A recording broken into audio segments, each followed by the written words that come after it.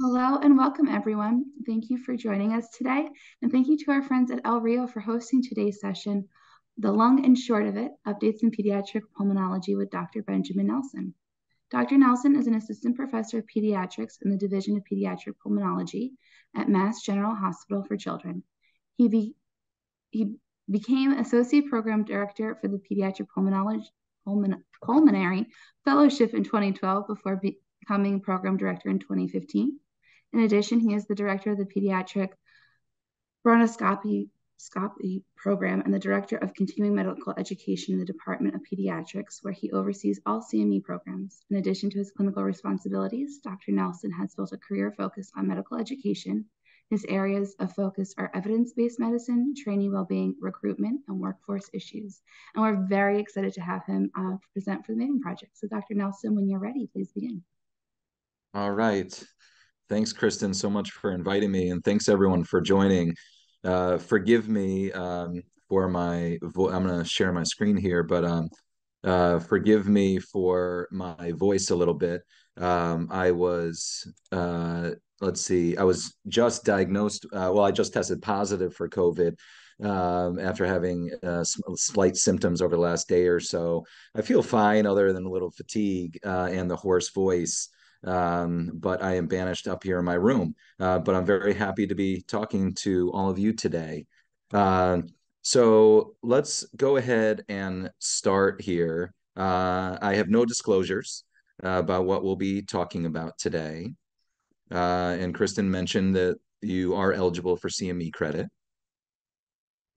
Okay, so what I wanted to do here, excuse me, is start with a little bit of a um, a case uh, to see where we're all at here. Sorry.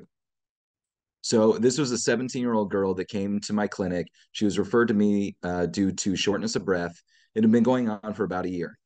She's a cross country runner, and she says to me that she can't get a full breath in or out. She feels that her heart is racing. She complains that she's wheezing and feels tight. She denies cough she says that for practices, she's pretty much fine and doesn't have any problems. However, a few minutes into races, especially when she's pushing herself, she'll become extremely short of breath and symptomatic. She did have asthma as a child, but she said she outgrew it and hasn't really had any symptoms for a number of years. She's a little bit anxious, uh, doesn't take any medications for this. And uh, her mom has exercise induced bronchoconstriction. So, based on this history, I'm curious, go ahead and type in the chat. What do you think is the most likely diagnosis here? Do you think this is a patient with exercise induced bronchoconstriction? Someone who's uh, just has anxiety? Maybe they're deconditioned? Could this be paradoxical vocal, vocal fold motion? Is there a cardiac issue, or do you think you need more information to answer?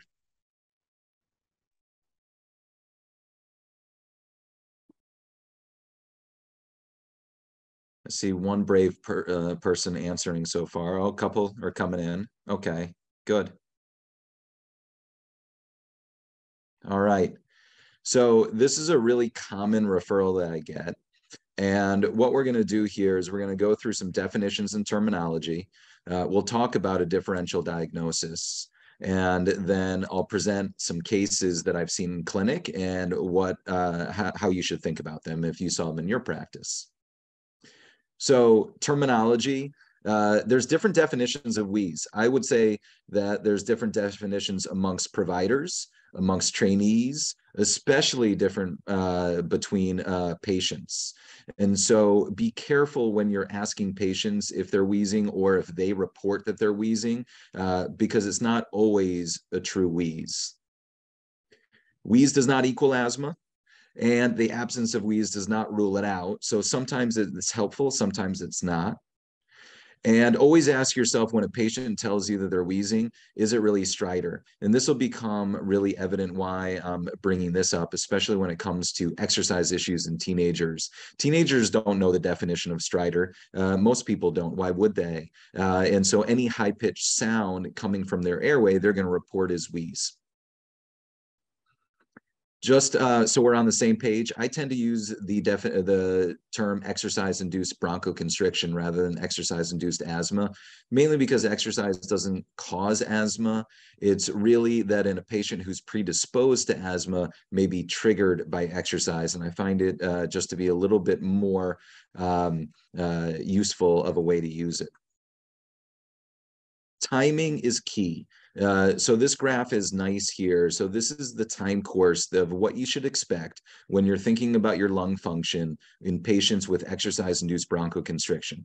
So along the x-axis is time after you start exercising, and along the y-axis is the percent change in your FEV1, uh, so your lung function on spirometry. And you can see that within about three, four minutes, you can start to see a drop in your FEV1 but it really isn't until that 10 to 15 minute mark where you get true bronchoconstriction.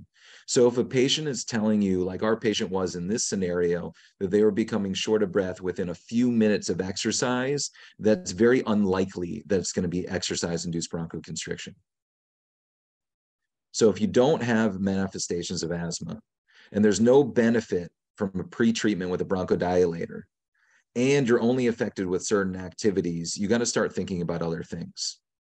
Before I start, it, you know, a lot of times patients will come to me and say they've tried uh, a bronchodilator like albuterol prior to exercise. Well, what you have to ask yourself is, are they using a spacer? I love this picture here. And are they using it correctly?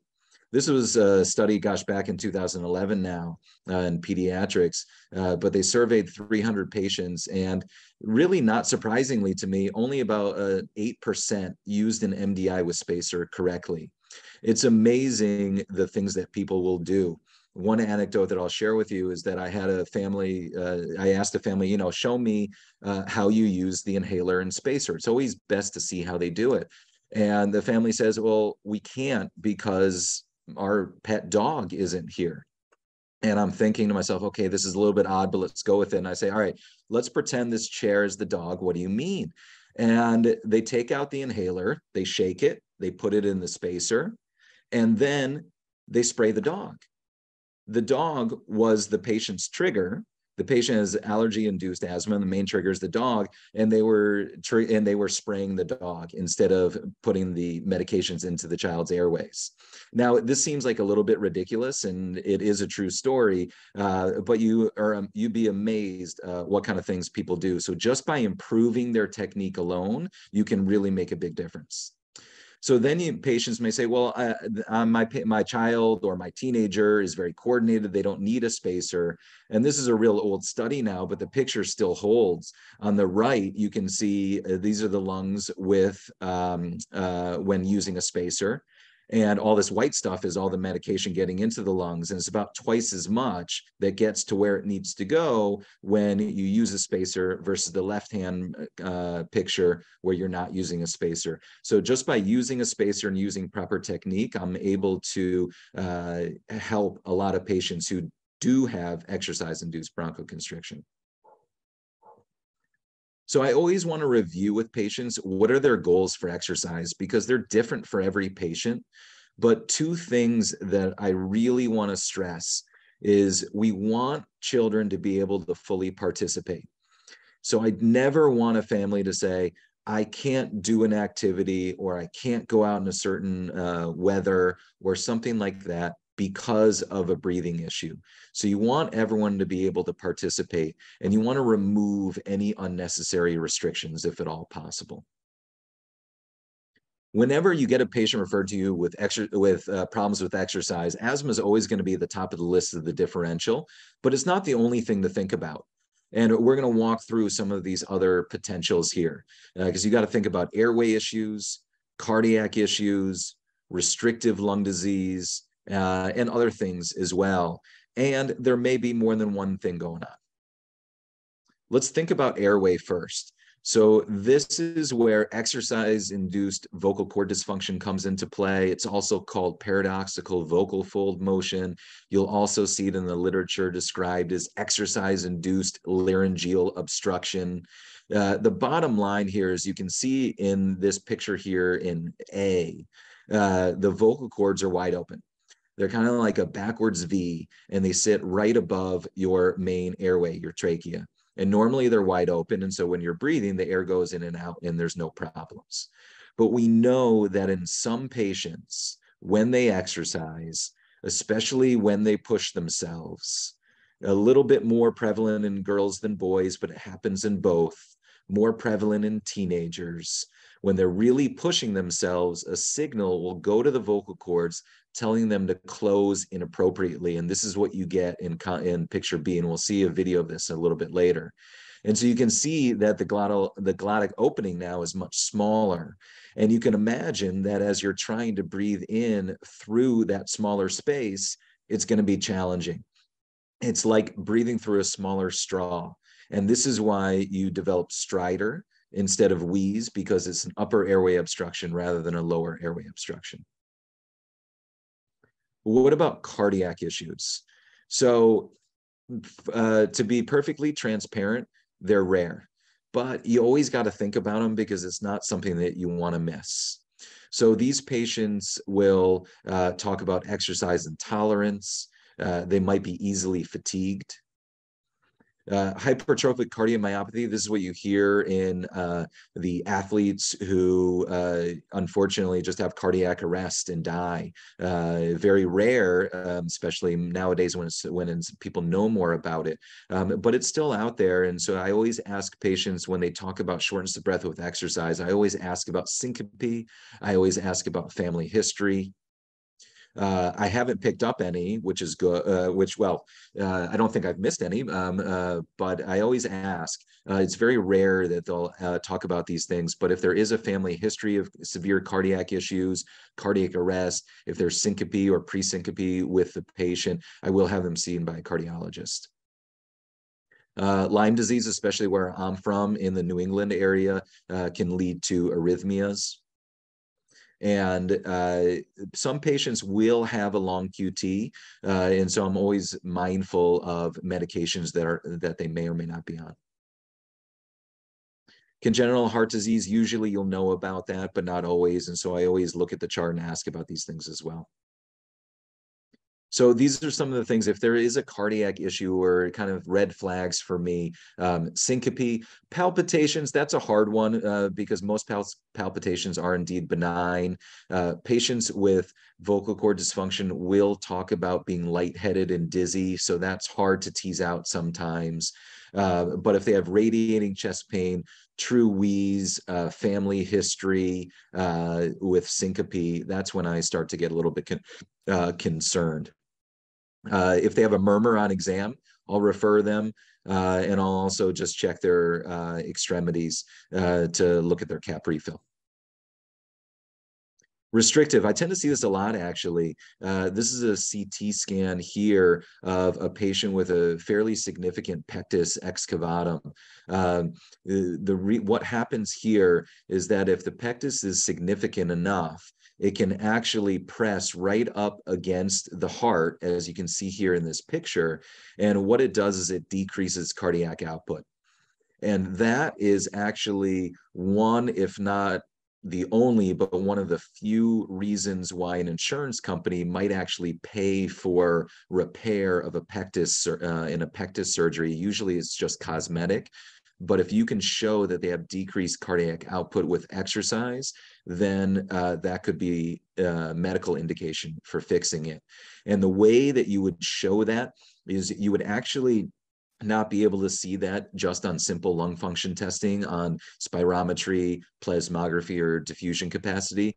You really need um, a, a, cardiopulmonary exercise test in order to really determine what the cardiac output is uh, when it comes to uh, patients with shortness of breath and a, and a pectus. Uh, scoliosis, gosh, you have to have pretty severe Cobb angle uh, getting on 60, 70 degrees in order to develop shortness of breath. So that's pretty unusual. And sometimes we'll pick up a myopathy, so a subtle neuromuscular issue. Uh, that can be a uh, reason for patients having shortness of breath with exercise as well.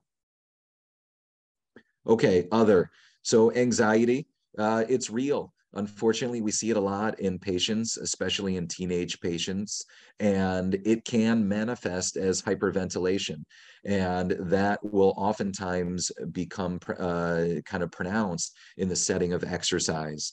And so sometimes uh, these issues or these um, uh, concerns uh, will be anxiety and hyperventilation. And sometimes that can be hard to tease out. And then just physiologic uh, limitations and deconditioning. Uh, it's real uh, and it can lead to shortness of breath. And the key for us as providers is to try to figure out when is it pathologic because everyone gets short of breath with exercise but at what point is it more than what we would expect or abnormal. And this kind of gets into talking to families or talking to patients about what their expectations are. Uh, are they, is this someone who is trying to push themselves to be a D1 athlete? Uh, or is this someone who can't even participate in gym class uh, and anything in between? And so you got to tease that out as well.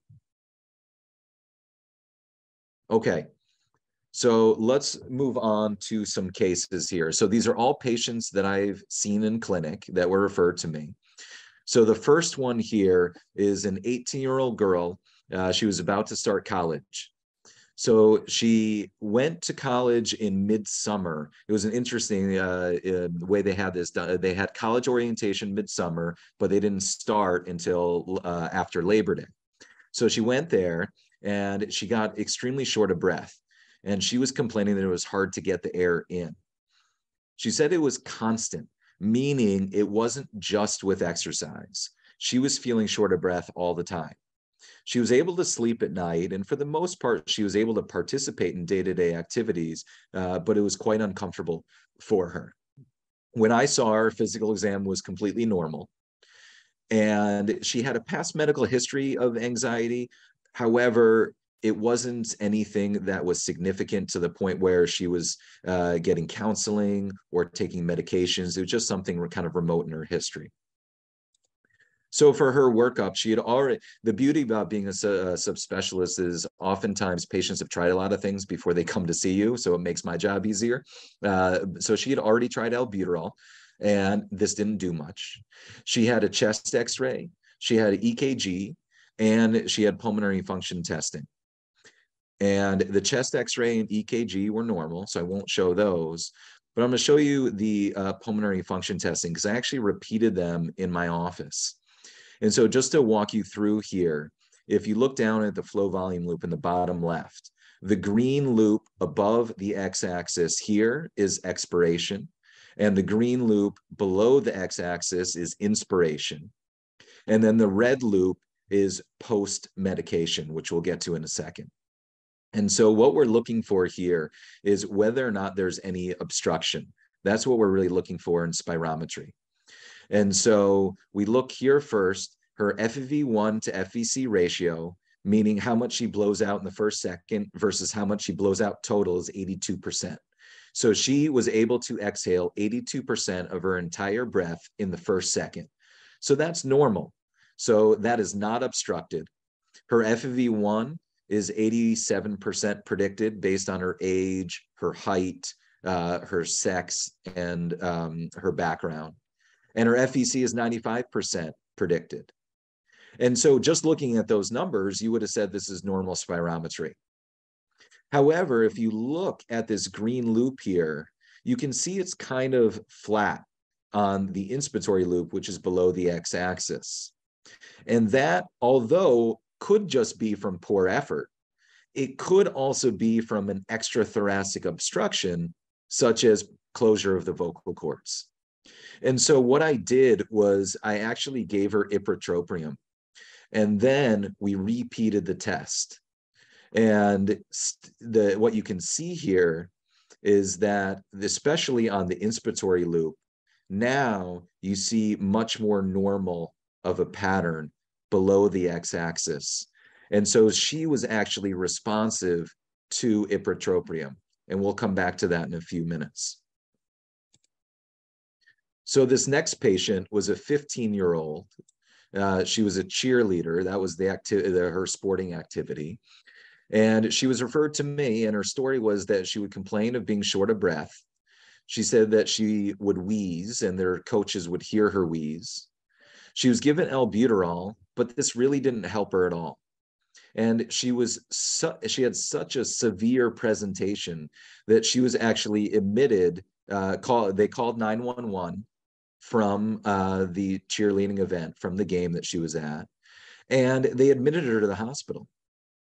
A few minutes into the routine is when she became symptomatic.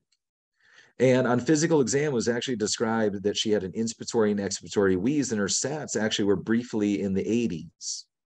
She did have a past medical history of asthma, and she currently, um, but was she was currently well controlled for the last 10 years. So it wasn't as though she was having continual problems. So with this history and with this presentation, she was actually first given albuterol. She was escalated to receiving continuous albuterol. She was given systemic steroids as well as magnesium. So basically treated as though she was in status asthmaticus. She never had an oxygen requirement. she had that brief descent into the 80s, but that self resolved. So she never needed supplemental oxygen. And then she was uh, discharged in the morning with a pulm referral. So when we saw her at rest, her exam was normal and she had normal PFTs. However, once she started exercising, she developed this kind of central inspiratory wheeze, and her PFTs, which are in red here, started to become quite abnormal. And we had her seen in the airway clinic as well um, to uh, look at the vocal cords. And although this isn't her picture, I found um, I wanted to demonstrate what you would see endoscopically in this situation. So at rest, totally normal. but this is what happens when she started to exercise. So to orient you, um, we're going through the nose. So this is at the bottom, your epiglottis. Uh, so this anterior is at the bottom of the screen and posterior is at the top. And you can see the vocal cords opening and closing. And now you can see them really kind of um, adducting and, and closing to the point where you can imagine that it's really hard to breathe through that really small opening. It's kind of intermittent here, but that's exactly what you would see. Now, this is really hard to recreate because not all exercise will automatically lead to symptoms in susceptible individuals. You really have to create the exact scenario where they feel stressed or you're pushing them or whatever it might be. And so, although it's nice to see that, it's usually not necessary to make the diagnosis. Okay, so now this last patient is a 14 year old male. He was a hockey player and he said to me that he um, his symptoms were cough throat tightness as well as chest tightness. They would occur a few minutes into exercise but sometimes didn't occur until 15 to 20 minutes in. When i saw him he wasn't exercising so his exam was normal. And he actually had uncontrolled asthma uh, which was worse over the last three months. So at baseline this patient was on low dose inhaled corticosteroids he was also on montelukast, those were his controllers. And he took albuterol PRN. And this is, let me show you the exercise study that he had. So just look at the pictures here on the bottom. So this is level one at baseline. Uh, again, we have a flow on the y-axis, volume on the x-axis. And above the x-axis is expiration. And below the x-axis is inspiration. And at baseline, his flow volume loop, although maybe a little bit scooped on expiration, looks okay. But then as he starts to exercise, focus first on the expiratory loop, which is above the x axis. You can see how it's becoming much more scooped as the as he's exercising and then this here this last panel is post albuterol and you can see that it's much better. But you can also see below the y-axis how, especially in level three here, how flat level three and level four, how flat the inspiratory loop becomes. So this patient had evidence of both an extrathoracic obstruction as well as an intrathoracic obstruction. So all three of these patients had paradoxical vocal fold motion or exercise-induced vocal cord dysfunction, or uh, you can call it um, laryngeal um, induced obstruction. Uh, now, th the definition here is that it's episodic. You have inappropriate adduction of the vocal cords during inspiration. And this is key. It leads to dyspnea but it really is a varying intensity. And we'll walk through some of the most common presentations, uh, but it really is a wide variety of presentations that we tend to see. And believe it or not, it's the most common cause of upper airway obstruction during exercise. Remember, as you know, asthma is a lower airway obstruction. And so the most common upper airway obstruction is going to be vocal cord, uh, vocal cord issues. Prevalence, you know, this is the the really the best data that I could find, uh, but I think it's low. Uh, mainly because it's under underreported, and I think a lot of times it's unrecognized. And we'll talk about the fact that it is time limited in the sense that patients oftentimes will get better without any therapy. And so I'm I think a lot of patients have this it goes unrecognized. Eventually, they get better. But in the literature, you'll see anything anywhere from 5 to 15%.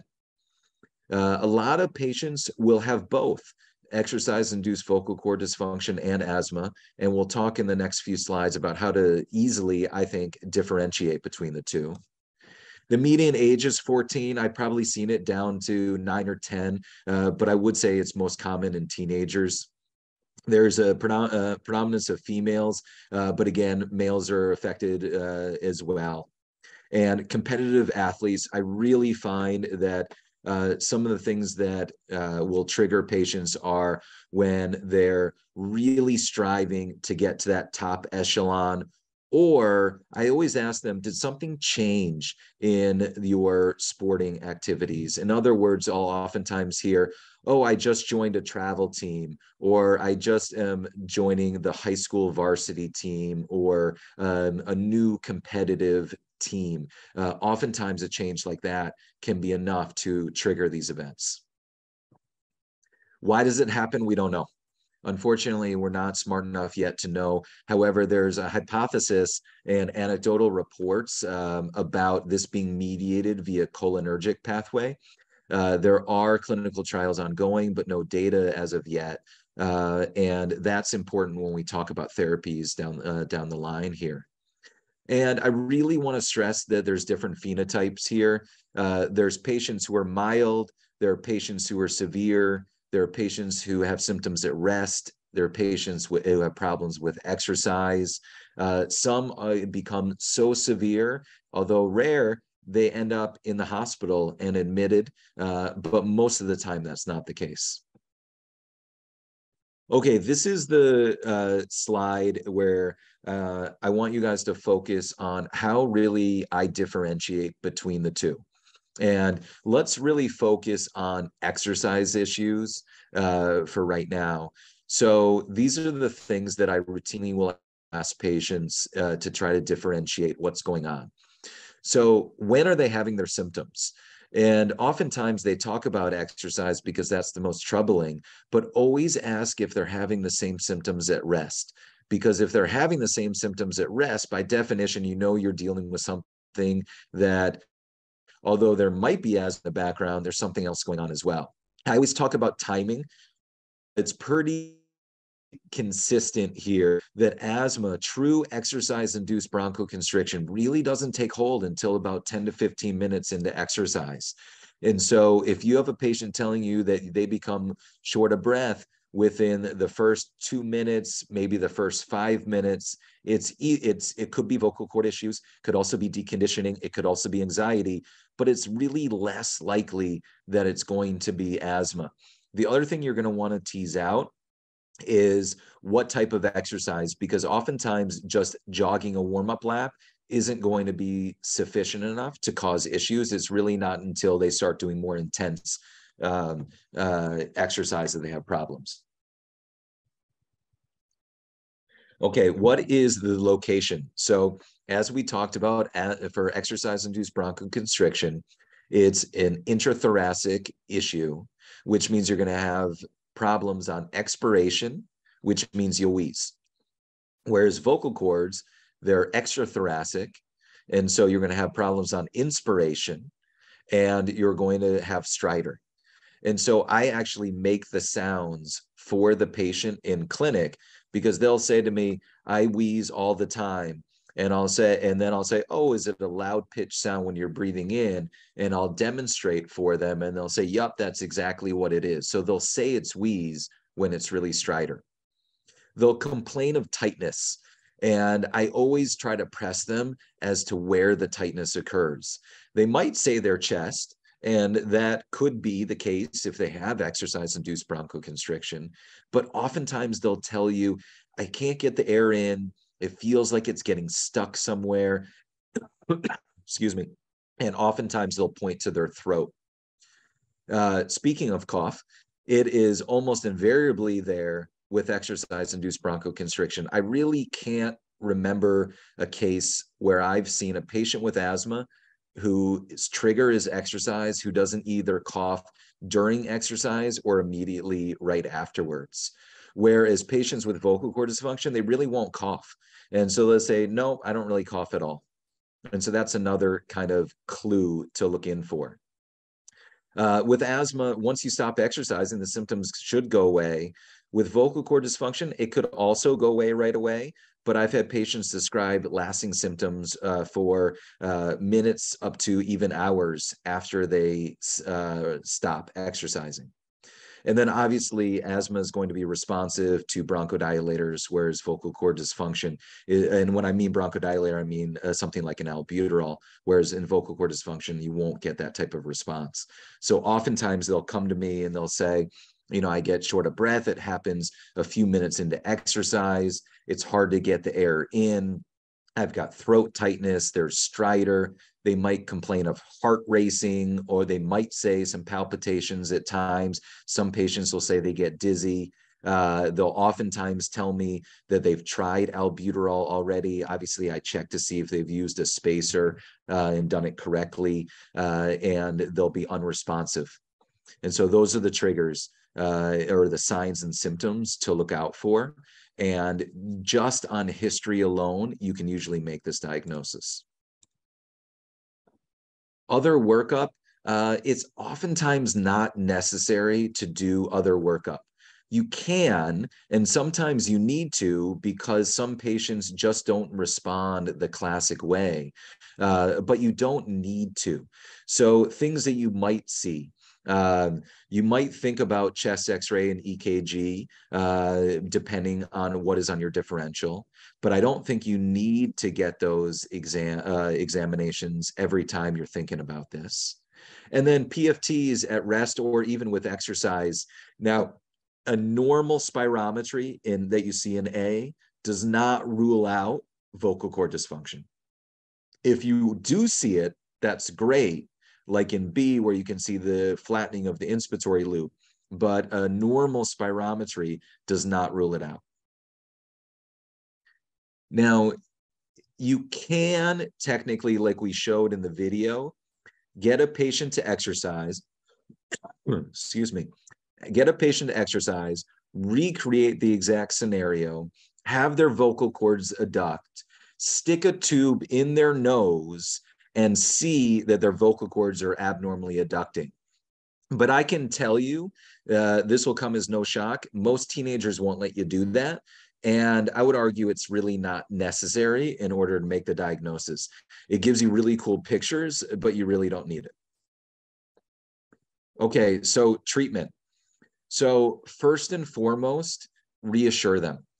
Tell them that, hey, there's nothing going on with your airways there's nothing going on with your lungs. There's nothing going on with your heart here. That sometimes, in and of itself, can go a really long way. Some patients will respond to anticholinergics. So that would be ipratropium. And so this comes back to the thought that, we think that the uh, etiology here, the pathophysiology, is that there's an abnormal signal mediated by cholinergic pathways that goes to the vocal cords, telling them to close inappropriately. And therefore, taking an anticholinergic such as ipratropium about 10 to 15 minutes prior to exercise can sometimes be beneficial. And I say sometimes because for some patients it works, some patients it doesn't work. The challenge that I find in um, around here, anyways, is that a lot of insurance companies frustratingly won't cover ipratropium because technically the FDA indication for it is for COPD, um, which is which is hard. And I see I see a question here about ipratropium MDI. There's they're very expensive. Um, I, I totally agree with you. And so what I tell families is that if we can't get it covered, or if it's too expensive, it's not worth it to pay out of pocket for it because uh, there's no guarantee it will work. And sometimes there are alternatives that we can try. Uh, so one alternative that we can try, there's a medication now uh, that comes in a Respimat that has albuterol and ipratropium uh, in the same inhaler. Uh, and the uh, forgive me for the trade name it's combivent i don't recall i don't i don't i think i don't even know the generic other than albuterol and ipratropium.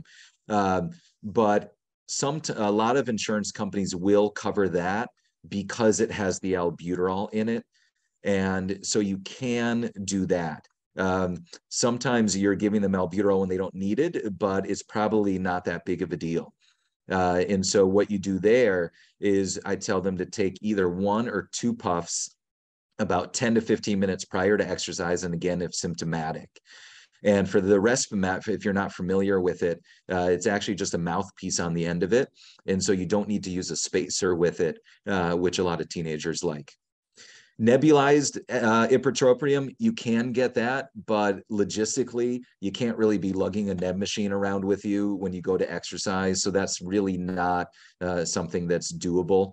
Uh, and then the other options that I'm not convinced do much are uh, tiotropium, which is a 24 hour acting anticholinergic its indication it's it, it originally was in the copd literature but now there's an indication down to six years of age to use tiotropium as an add-on maintenance medication for children who have uncontrolled asthma um, i've tried it uh, with patients with vocal cord issues, and I and really I haven't had a lot of success there. Uh, and so I try to get them either the ipratropium and MDI or the Combivent. And if we're unsuccessful then we just we we just move on. Uh, because like i said for some patients it's helpful and some patients it's not. And there's no way to predict beforehand. Um, imt that's inspiratory muscle strength training so just like if you were doing bicep curls the, to make your biceps stronger, and then you would subsequently be able to lift things without expending as much energy, it's the same principle. There's commercially available devices. I can't write scripts for them, but there's commercially available devices that are pretty reasonable in cost. They're handheld and you breathe in against varying degrees of resistance. And so you're basically lifting weights for your inspiratory muscles. And so that way you can imagine if your muscles are stronger, when you need to overcome this vocal cord adduction, so this obstruct upper airway obstruction, your muscles don't have to work as hard and you don't feel as short of breath. So that can be helpful. And then the really the gold standard in the literature is speech therapy. So this would have to be from uh, someone who is trained in dealing with exercise-induced vocal cord issues. And what they do is they teach you different mechanisms of how to breathe and open up your airway. So not all speech therapists are trained in doing this, uh, but it really can be um, beneficial. Um, so I um, I do tend to give the ipratropium before exercise uh, if um, if we know that exercise is a trigger. So I'll tell them to take it about 15 minutes prior, but then I'll tell them they can take it again once more if they become symptomatic. And usually then they're able to tell whether or not it's working for some patients, uh, you do have to involve psych because there can be a significant anxiety or psych uh, mental health issue uh, that goes into this. And so sometimes you want to tease that out. Um, for me, oftentimes I'll talk to families about it. And if there is a real concern, I'll oftentimes bring in their primary care provider who oftentimes knows the family better than I do. Uh, but sometimes you have to have psych involved as well. So, what are the outcomes for these patients? There really isn't that much in the literature, believe it or not. Um, this is a study, gosh, now from 2011. It's a group that I work with um, uh, out of the Mass Eye and Ear in Boston. It's really the biggest study that I'm familiar with. Uh, and they looked at 60 children uh, who are mainly teenagers. And the interesting things here is that overall treatment success, about 75%. And almost everyone after two years after making the diagnosis, their symptoms will resolve spontaneously. And so I tell families it's not a forever issue. It will eventually go away. Even if we do nothing, it'll go away. But the goal, obviously, is to have it resolve as soon as possible. Because remember, the goal here is full participation. And so speech therapy is found to be extremely helpful. Um, uh, so the combination of reassurance, uh, medication, um, if you can get it covered, and speech therapy are the mainstays.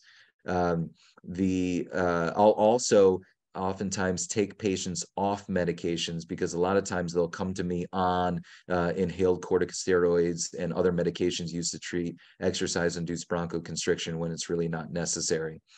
And then I always tell patients you got to listen to your body, and when you notice yourself uh, feeling short of breath, just back off a little bit and slow down a little bit. Uh, that way you can still participate at a high level, but you don't reach that threshold uh, where you become uh, so short of breath that you can't participate. And I think that was it for my slides. I wanted to leave uh, plenty of time. I'm happy to answer questions about anything. Thank you, Dr. Nelson. Just a reminder, uh, you can put your questions in the Q&A box or the chat box or use the raise hand feature. I um, always recommend that option uh, to speak directly with Dr. Nelson when um, asking about medications. I will mess up those names. Uh, and, uh, oh, and Kristen, I would also just say I have my email address here, and so uh, please feel free to email me uh, at any time. Thank you. That's very kind.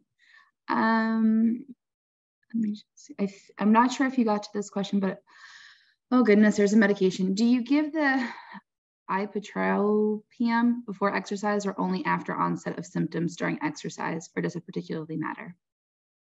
Yeah, we talked about that a, a, little bit. It definitely have to has to be before the at, before exercise, uh, and then the hope is that it prevents symptoms. Um, somebody just asked if you could put the slide on asthma versus fo- vocal fold dysfunction back up for a minute. There's an sure. and an F word right next to each other. I kept switching the, the sounds. And I think they'll all have access to the slides. Is that right? Yes, absolutely. They'll they'll be emailed tomorrow from Zoom. Um, question: Have you seen an increase incidence in exercise-induced bronchoconstriction since COVID? If so, why do you think that is? Since COVID, um, you know, I haven't been, I don't think I could say that I'm seeing an increased incidence in exercise induced bronchoconstriction since COVID.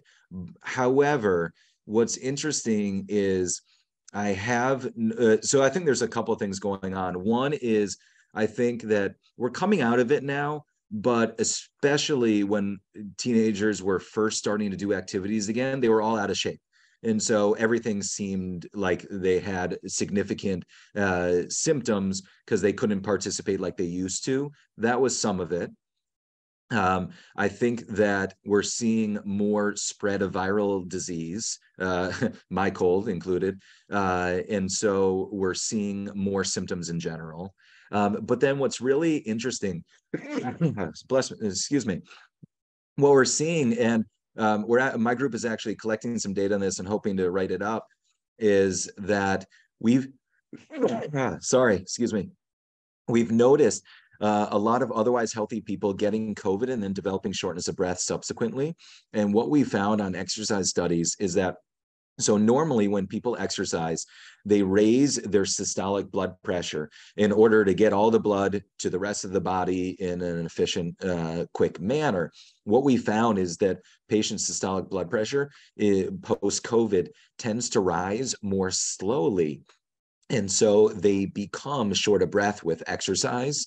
Uh, we've seen that this gets better with time, and it's really just treating kind of you know filling up the uh, preload so with hydration and electrolytes and and and, and the like uh, but it's a really fascinating thing that we went back and we never really saw it pre-covid and so there really does seem to be a correlation with covid and problems with exercise in some patients, not all.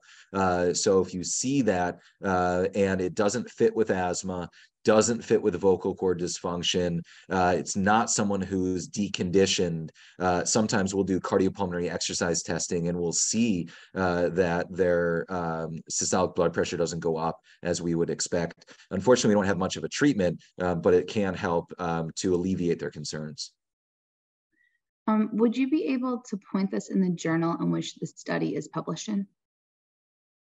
Uh, which study are we talking about? The one, um, is it this one here? Um, I'm gonna wait for them to type in Crystal. Yeah. The one regarding Oh. pressures. Yeah, so we're actually collecting uh, this data right now, Crystal, uh, in our group, and so we haven't published it yet. Uh, so unfortunately, we'll have to wait for the journal for that one. Looking forward to reading it.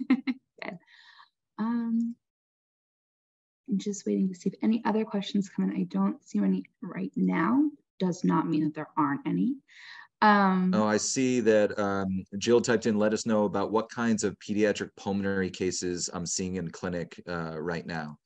Um, so uh, what's really, it's, it's fascinating that um, not uh, that for two years, uh, you know, there was so, there was such little spread of viral illness amongst kids and there was such little in the way of pulmonary disease.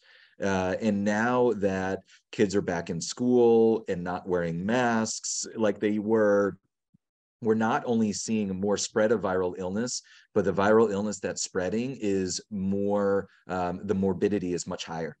And so we are seeing uh, usual things, but in unusual times of year.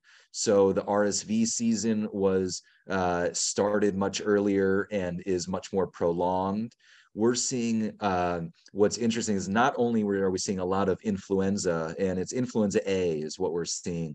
We're not only seeing a lot of influenza where we really haven't seen any the last couple years, is that we're seeing a lot of uh, sequelae from influenza infections. We're seeing a lot of bacterial superinfections leading to either complicated pneumonias or pulmonary abscesses. We've had a number of those, and these are in patients who are vaccinated.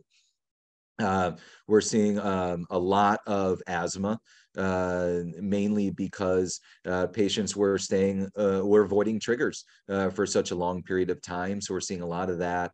Uh, we're fortunately not seeing um, a lot of severe COVID-related respiratory issues. Um, it, definitely not in patients who are vaccinated. so luckily, we're not seeing a lot there. Uh, but I would say we're seeing the usual stuff, but the usual stuff that we're seeing is different times a year and actually more severe. Great. Very, very helpful. Oh, all right. So I still don't see any questions. Um, I have a, see a number of awesome talk thank yous and thank you for being a trooper. Um, if you do have questions for Dr. Nelson, he did share his email, which will also be in the slide deck tomorrow. Um, I know Dr. Nelson's not on our VC platform, but our other pulmonologists are. If you ever get stuck on the case, you can always submit a consult that way. But um, as I don't see any other questions, I think we'll wrap it up and have a, a good night. But Dr. Nelson, thank you so much for presenting. This was really great. Oh, my pleasure. Thank you so much for inviting me. And we hope you feel better. Thank you. All right. Have a good night, everyone.